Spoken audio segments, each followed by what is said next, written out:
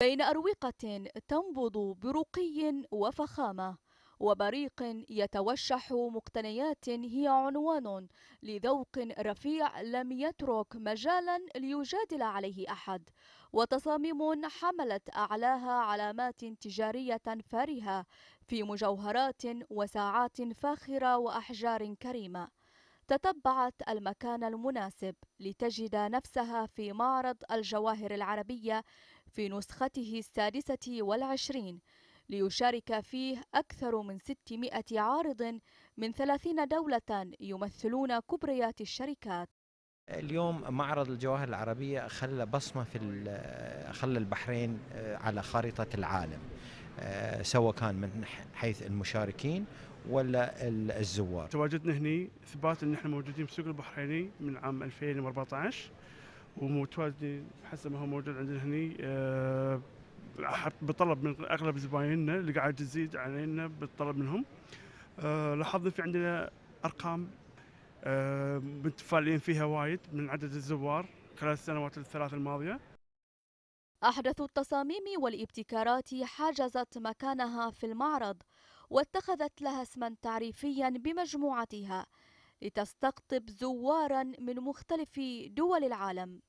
السنة يعني سوينا قطعة مميزة اللي يعني هي خاصة للمعرض وهي طبعا تحتوي على ألماس ولؤلؤ خليجي. فيها تقريبا حول 100 و 1970 لؤلؤة خليجية أو بحرينية.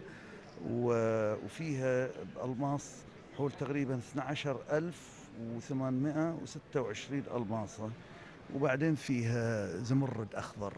سوينا ساعة جديدة. فيها 500 حبة limited editions بس هما مكتوبة فيها بالعربي. إن الدول مكتوب عليها بالعربي نفس ما تشوفونه في الصورة اللي هناك إن هي أول ساعة بتكون مكتوبة عليها بالعربي في الدول العالم عشان تقدر الكل يشوف انها مستوحاة من اليونيسف بعد.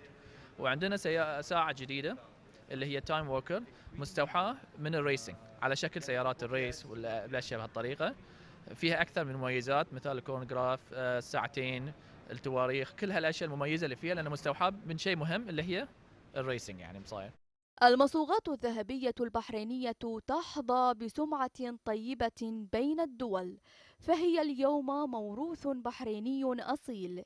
هي الصناعة التي تنتجها أياد بحرينية متدربة وعالية الكفاءة. تمثل نهضة صناعية مستقبلية ولها كل الدعم والإسناد لترتقي وتتطور بشكل مستمر حتى تصل إلى العالمية. فهي صناعة اقتصادية من الطراز الأول. تسهم في تعزيز مكانة البحرين كبيئة جاذبة للاستثمار بمختلف الأنواع. عندما تنطق الأشياء معبرة عن السحر والجمال فبكل تأكيد نحن نتحدث عن الجواهر التي جمعت فيها أجمل وأحدث التصاميم العصرية لتكون السحر الجاذب لكل من تقع عينه على هذه المجوهرات. إيمان شرف لمركز الأخبار تلفزيون البحرين.